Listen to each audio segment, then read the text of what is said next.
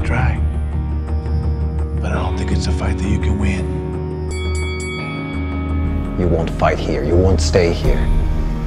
You're no longer welcome here. Hey, hey, what about me? What am I supposed to do? I don't know. We don't need you here. Everything is fine. What Hector needs is a father. Hell, when a man fights for nothing but money, he's already lost.